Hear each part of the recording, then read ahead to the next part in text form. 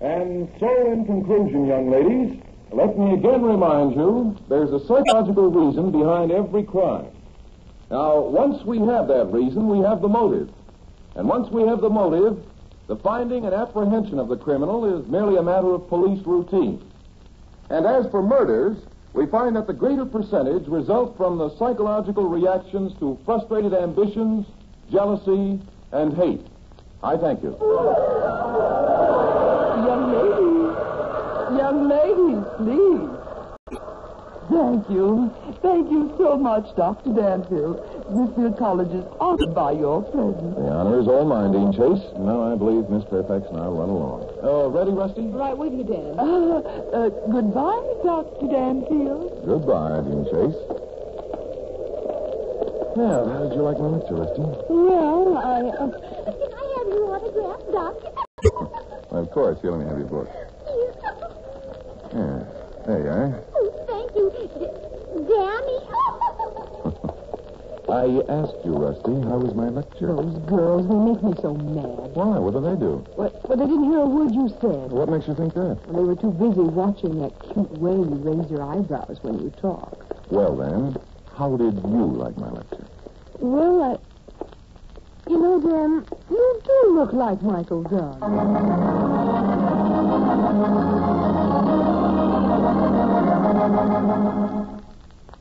Dr. Danfield, student of crime psychology, has many times provided the police with a solution to a baffling crime. There's an interesting case ahead for the doctor today. We'll call it the case of the little meteorite who wanted to be a star. Well, I'm disappointed in you, Rusty. You, of all people, not listening to my lecture. Oh, I, I've heard it before. Hmm. Still snowing out? What a hotel. My room doesn't even have running water. Of course not. Neither is mine. Rusty, is it still snowing? Just as hard as ever. Well, I guess that's it. If this keeps up, we won't get out of this town for a couple of days. Well, at least not tonight. Oh, what do they do on a snowy night in Elmhurst? Oh, what do they I've got a couple of good ideas. Hmm? What, for instance? Well, uh, there must be a theater in this town. Oh, yes, there is. I noticed it this afternoon. Tonight they're playing vaudeville. Vaudeville. I thought vaudeville was dead. It is, believe me. This is just some they resurrected.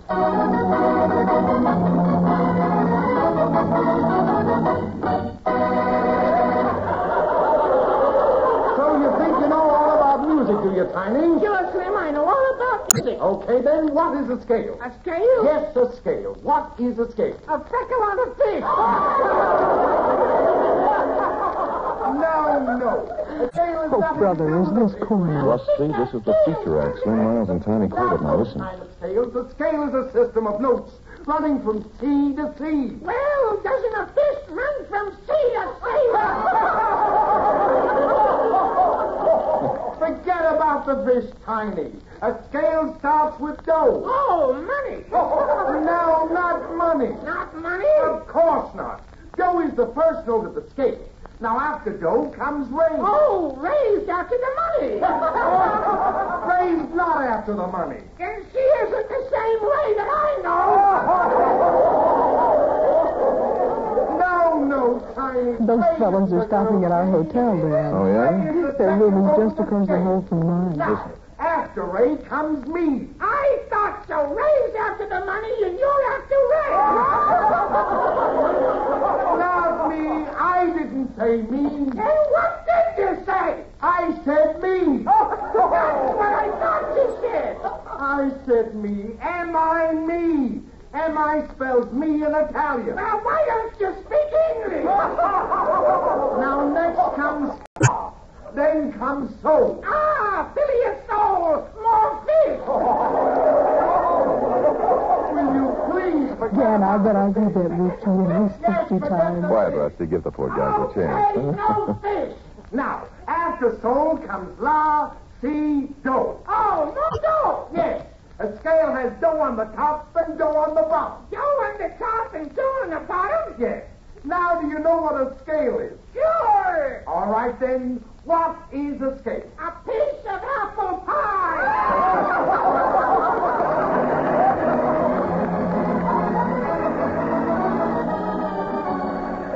Boy, did you stink tonight. What do you mean, me? Come on, let's take another bottle.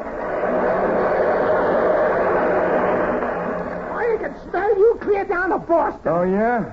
Hey, another bottle.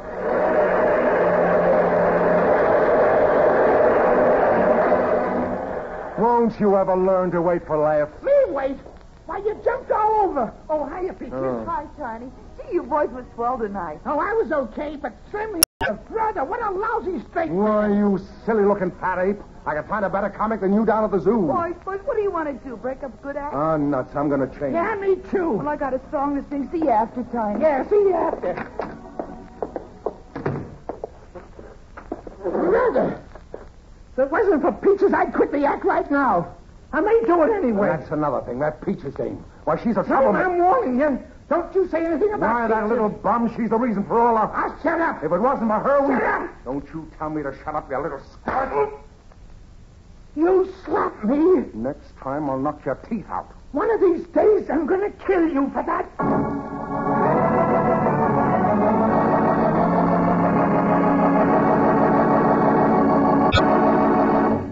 In a moment, we'll return for the second act of Danger Dr. Danfield, but first.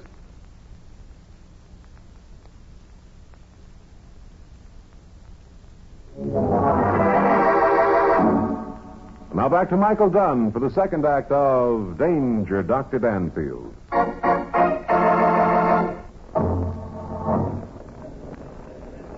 what a show that was. No wonder vaudeville's dead. Those are the kind of guys who killed it. Oh, they weren't so bad. The tall one's kind of cute. Yeah, I guess they'd be all right if they had some decent material. Well, the picture wasn't bad, so the evening wasn't entirely wasted anyway. Would it ever stop snowing? I guess not. Well, here's the hotel. And what a hotel. Must have been built before this country had Indians. Well, at least it's a roof over our heads. These gaslights really get me. Hmm? Huh? Dan, that was You scream. say the cutest things, Rusty. No. Come on, it came from upstairs. Sounds like our landlady, Mrs. Maine. Yeah, she's got a voice like an air raid alarm, too. Come on in here, Rusty. Mrs. Maine, what is it? What's the matter? Doctor, Dr. Danfield, I'm so glad you're here. Oh, this is terrible, terrible, terrible. What is? Look. Dan on the bed. Oh, Yes, yes, I see. Our little vaudeville friend. The fat one. and he's as cold and stiff as an iceberg. Oh. Oh, stop it, Mrs. Maine. Try and get a hold of yourself. Dan, I, I need a cigarette. Rusty, don't light it. This room is full of gas. Yes, he's dead, all right. Asphyxiated. There must be a leak in the light fixture. Oh, dear, oh, dear, the poor man. Poor Now, man. Mrs. Maine, how did you discover I that? was coming up to deliver this telegram. All the actors stopped here. I thought it might be important. A telegram? For Tiny Well, it was for the both of them. Actors always get telegrams. Oh, poor, poor Mrs. man. Maine. Mrs. Maine, please. Coming down the hall, I smelled gas. Actors are such nice people. I knock on the door. There wasn't any answer, so I opened the door, and it comes in, and there he was, just as stiff and cold as an iceberg. Oh, tell me, Mrs. Maine, uh, Tiny's partner, Slim, uh, Oh. Slim Miles, is he around? Oh, a wonderful man, a fine actor. I saw him down at the Calvin. He gave me a ticket. I know, but have you seen him tonight? Oh. Ah, yes, I know. Number 14. Yeah, I know my roll when I see it. There his. There his right Oh, there. your wonderful man seems to be staggering in. Yeah. Uh, oh, hello, folks. Uh, this here a friend of yours? I picked him up for being drunk and disorderly. Uh, bring him right in, will you, officer? Okay, okay. Yep. oh, you know, with his load, that makes two loads I'm carrying. Such jokes. Now, don't anybody light a match. Uh, uh, you, uh, you ain't his partner, young fella. I know you ain't. I seen him down to Calvin. Well, he give me a ticket. No, no, no. His partner is over there. Oh, oh, sleep. eh? No, dead. Uh, what? What's that? Who's dead? Tiny is, Slim. Can't do this to me. Tiny can't do this to me. I'm afraid it's already been done. Slim, uh, there's a telegram for you. Wish you'd please open it. Telegram? Uh, give it to him, will you, Mrs. Maine? Here.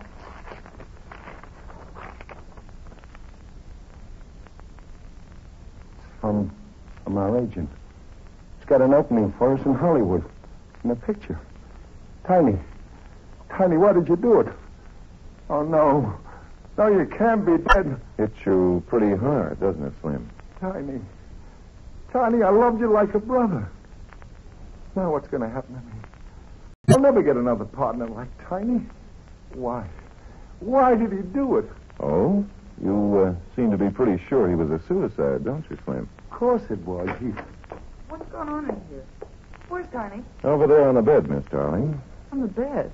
What's the matter with him? He's dead. Oh, the poor, poor man. Dead.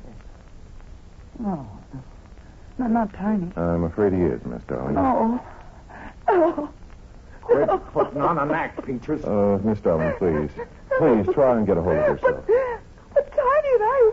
Oh, Rusty, help me, will you, please? Uh, take Miss Darling to her room. Of course, Dan. Uh, the rest of you had better go to your rooms. And Mrs. Main, lock the door, please, and give the key to the chief. Uh, no, no, no, no, no, no, son. Uh, she better give it to you. no, I'm not much good in investigating cases. All right, if you wish, Chief. Uh, come on, Miss Darling. Rusty? No, no, honey, don't cry. I, I'm sorry. I can't help it. Uh, Tiny was nuts, but he was a good guy. Yes, yes, yes, yes. Help her to a chair, will you, Rusty? There, there you are, Peaches. nobody knew what a good guy he was. Nobody.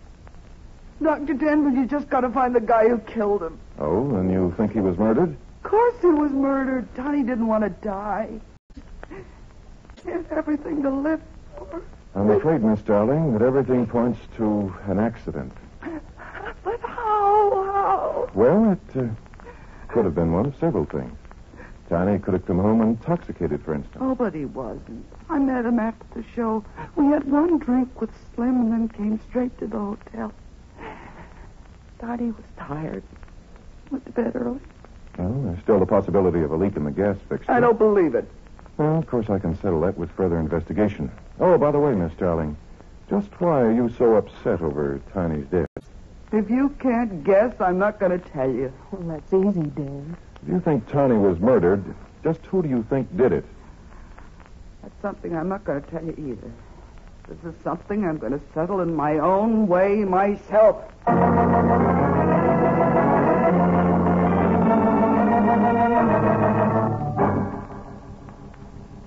Yeah, you know, I'm not a bit satisfied. This was an accident, Rusty. Well, it looks simple enough to me. What's worrying you? Well, Miss Darling, for one thing, and this light fixture for another. Doesn't sound reasonable for it to spring a leak all of a sudden. Well, gas will leak if there's a hole. Yes, if there's a hole. Oh, uh, hand me a match, Rusty, will you? Here's my lighter. Thanks. Yeah, now, if there is a leak, it'll burn when I hold the flame around. Gosh, this fixture is up high. I can hardly reach it. There. Now, you see, Rusty? No gas leaking out of this thing. Well, that means That means somebody turned it on. You better have this valve checked for fingerprints, Rusty. This has to be either suicide or Peaches is right. It's murder.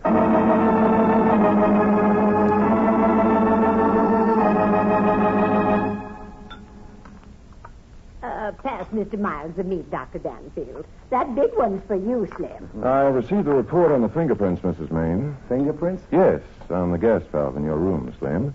The only ones on it were yours, Mrs. Main. Mine? Yes. Now, I want you to think back to last night. When you entered that room, did you turn off the gas? Of course I did. Would you mind passing Mr. Miles the codfish cakes, Doctor? Uh, certainly, yes. Here you are, Slim. Now, Mrs. Main, was the gas lighted when you entered the room? Of course it wasn't. But gas costs money if it's lit or not. I smelled it, so I knew it was on, so I turned it off. And uh, how, may I ask, did you turn it off? You're quite uh, short. Well, I climbed up on a chair. That's how I turned it off. I see. Well, that accounts for Mrs. Maine's fingerprints, Dan. Yes, doesn't it, though?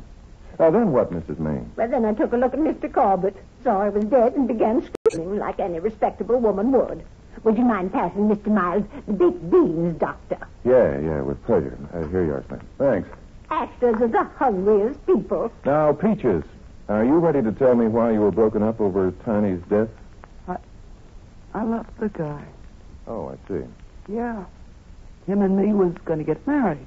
Did you know about that, Slim? Ah, she's talking through her hat. That's the first time I heard of it. Oh, Tiny was playing her all right, but That's all you know about it, you lousy bum. What? Miss Darling, please, you shouldn't talk that way about dear Mr. Miles. Dear Mr. Miles, my foot. He's nothing but a hand. Uh, doctor, would you please pass Mr. Miles the brown bread?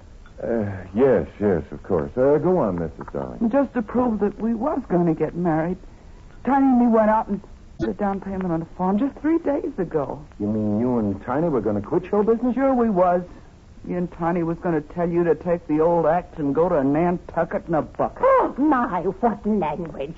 Slim, what about you? Yeah, what about me? Well, judging from your condition last night, you'd spent quite a spongy evening. Tell me, did you and Tiny ever have any argument? Oh, sure we did. And what a dozen. We had one yesterday, in fact. Oh, serious? Nah, just the usual stuff. We made up. Him and Peaches and me went in and had a drink together. Tiny was tired, so we come up here to the hotel. Now, some of the boys at the bar said that you were telling them that Tiny, uh, stunk. Nah, they got it all wrong. My Tiny was the greatest comic that ever lived. Uh, doctor, Uh, yes, Mrs. uh, would you mind passing Mr. Miles the apple pie? Yes, yes, of course, Here you are, Slim. Thanks. Uh, Mrs. Maine, Yes, Dr. Danfield. would you mind passing me the nuts, please?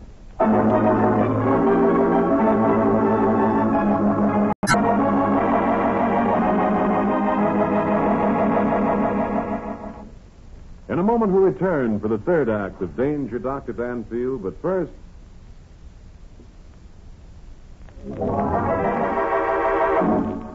And now back to Michael Dunne for the third act of Danger, Dr. Danfield.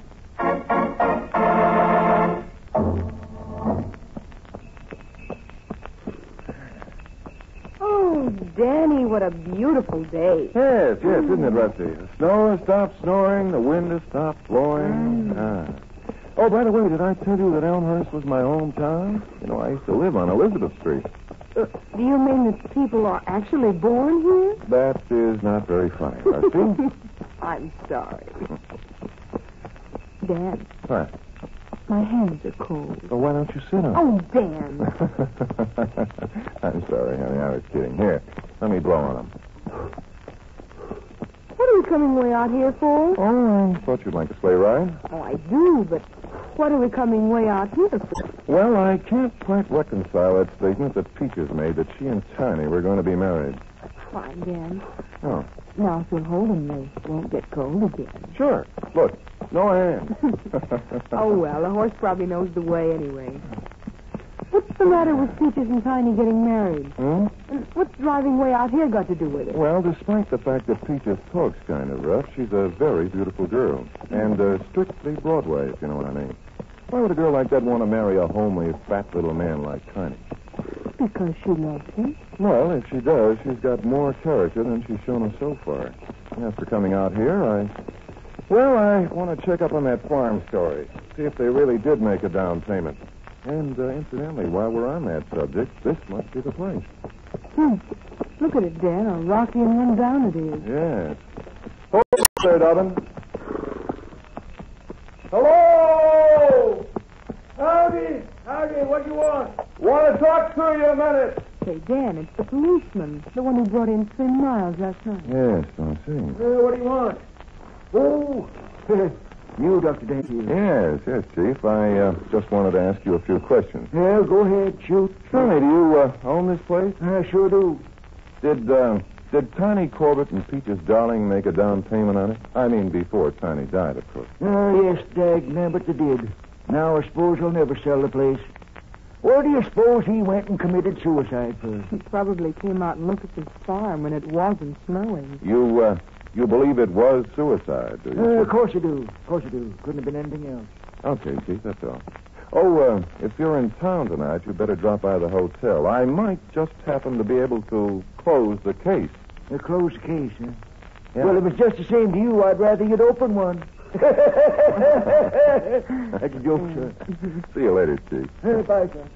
Get up there, Dobbin. Well, Dan, you didn't earn much there. Oh, but I did, Rusty. Yes? What? You were right. She really loved the guy. Hmm. Oh, jingle bells, jingle bells, jingle all the way. Oh, what fun it is to ride in a one-horse open sleigh.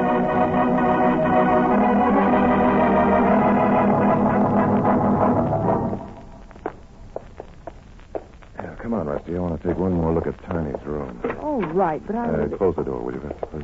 Sure. Dan, what are you going to find out? Hey, take a look at this contraption. The gas jet? Yeah, look. no, Dan. I'm choking. okay. okay, it's off. It's loose, Rusty. Needs tightening. what does that prove? Now, notice the handle on this valve. One of those one-sided kind. It sticks straight up when it's closed. Well, so what? so I think we'd better have another little talk with Mrs. Maine. Well, here's the good lady in person. Well, what are you two doing in here? Having no respect for the dead? Enough to want to avenge his murder. Murder? Oh! Mrs. Maine, just where did you find that telegram that came for Tiny and Slim? I didn't find it. It was delivered. When? Around supper time. And, uh, did you keep it in your possession until you gave it to Slim? Of course not. Put it on the hall table where I always put telegrams. Tell me, do you know uh, someone else saw it but you? Well, how do I know? They could have. It was laying there long enough. I see. Now, once more, exactly what did you do when you entered the boy's room? I already told you. I kicked his clothes out of the way, grabbed a chair from in front of the dresser. His clothes. What clothes? His clothes. Mr. Corbett. It was in the middle of the floor, at least his coat was. Had to kick it out of the way so as I could get the chair under the gas jet. I see. That's all, Mrs. Maine. Oh, will you please notify all your other guests to meet me here after supper? Now it's time. Poor Tiny had a good old-fashioned wake.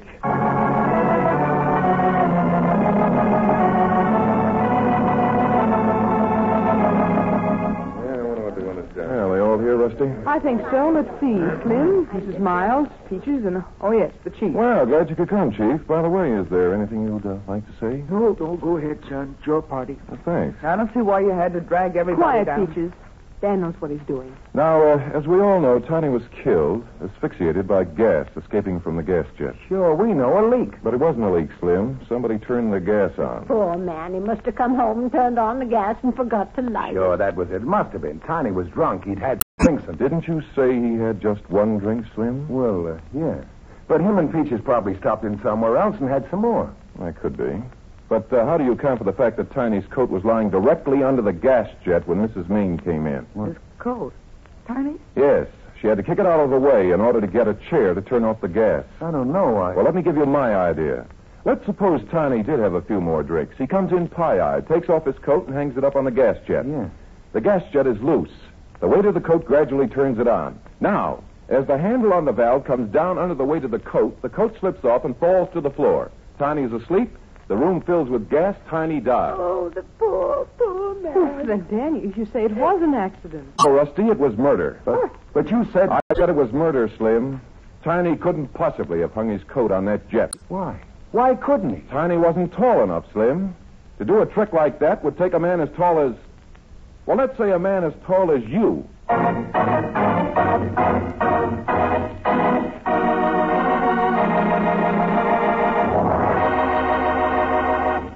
In a moment, we'll return for the conclusion of Danger Dr. Danfield, but first.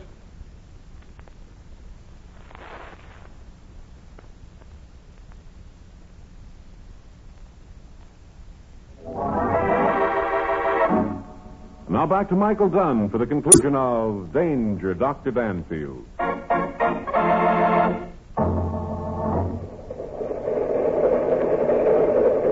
Oh, am I glad to get away from that town, even if you were born there. No more rundown hotels or gas lights for me. Say, Rusty, look out the window. Isn't New England beautiful? Hmm. So white and clean under a new blanket of snow. Get him waxing poetical again. Ah, it's lovely, Rusty. Lovely. Dan, how did you ever guess it was murder instead of an accident? Hmm? Oh. Oh, one little mistake. A murderer always makes at least one, you know. What was that? The lack of other fingerprints on the gas jet. Slim had wiped them off. But how would that prove Well, he and? Tiny had used that room for about a week, so his fingerprints would have to be there under Mrs. Maine. I see. Hmm. But how did you ever figure out it was Slim? Well, if you had listened to my lecture, Rusty, you wouldn't have to ask. Well, what has your lecture got to do with it? I said there was a psychological reason behind every crime, and once we had that reason, we have the motive. Well, I know, but but what was the motive in this case? Frustrated ambition, jealousy, and hate. Like any good Greek, you will always have a word for it. you see, Rusty, Slim saw the telegram lying on the hall table and read it.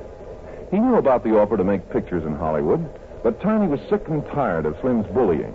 He had already made up his mind to buy a farm, quit show business, marry Peaches, and settle down. Now, Slim was jealous of Tiny. He secretly knew that Tiny was the best part of the act. He knew that Hollywood wouldn't buy the act without Tiny. So his ambitions to become a movie star were thwarted and frustrated. Well, how about the hate part of it? Well, wouldn't you hate a guy who did that to you? Hate him enough to kill? Hmm. Guess I would. And, of course, after figuring out the motive, the rest was just ordinary police routine. I see. Uh, Dan, Yes, Rusty? what's a scale? A scale, my dear Rusty, is what a poet starts with when he wants to write a song. A system of notes, which, when properly welded together and combined with beautiful words and sung with, uh, say, a voice such as mine, Oh, makes the beautiful ladies fall right into our lap. Oh, oh Dan. you know, I was afraid you were going to say it was a freckle on a fish.